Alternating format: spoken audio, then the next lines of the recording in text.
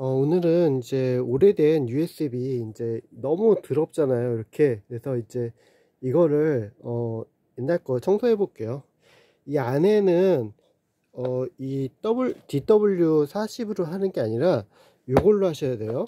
그래서 접점 부활자라고 해서 부활제라고 해서 D, BW100이라고 하는데 이게 비싸요. 만 원씩이에요. 그래서 음, 이 안에는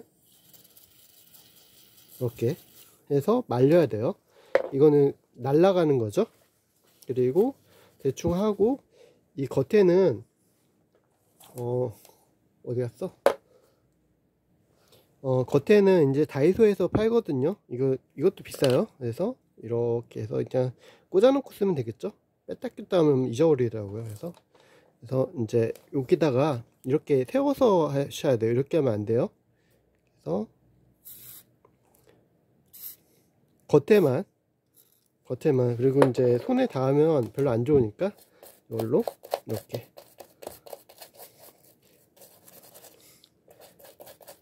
책 같은 거 놓고 하면 되겠죠? 안 쓰는 책 같은 거.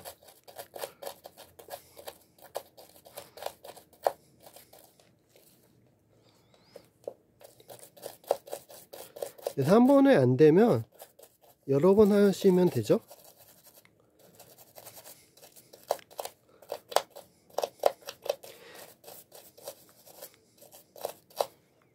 음, 이렇게 해서 이제 보여드릴게요. 뭐, 완전히 깨끗해지지 않겠죠? 근데 지금 보니까 약간 그래도 깨끗해진 것 같아요.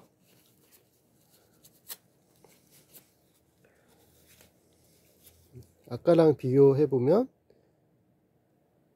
어, 완전히 깨끗해지진 않지만, 아까에 비해서는 좀 깨끗해진 것 같죠? 이렇게 어, 어디 찍는 거야? 어, 그죠?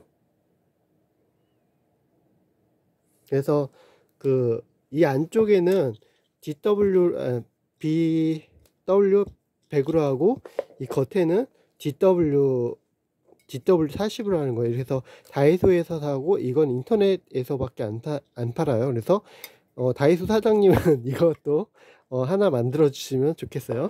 그래서 이제 옛날 거 옛날 건데 이제 요즘에도 이제 녹이 끼는 것도 있죠. 그래서 이렇게 쓰면 되겠죠. 음, 이렇게 오늘 영상 여기까지 하겠습니다. 감사합니다.